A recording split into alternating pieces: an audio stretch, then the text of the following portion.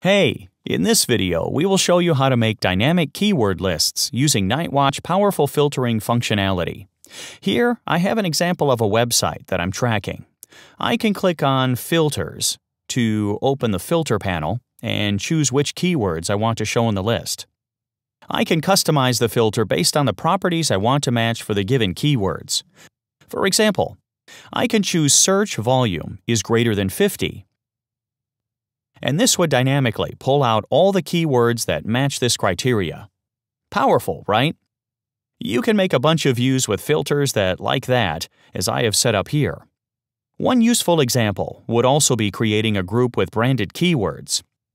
I will enable tags on the keywords and set up a filter with tag equals branded, and this would only match keywords with this tag. This way I can easily analyze them separately, since branded keywords have their own unique characteristics.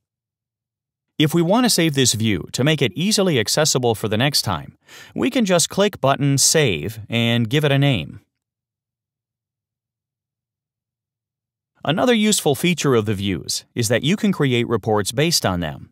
This is very helpful when you want to send your client a report with only the keywords that match certain conditions. For example, only the keywords that went up.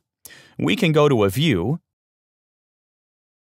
click Export Report, and choose the format that works best for us. We can also schedule it on a weekly or monthly basis. Additionally, you can create those views on a global level by clicking Add View. This is very useful when you want to match keywords among multiple websites that you're tracking.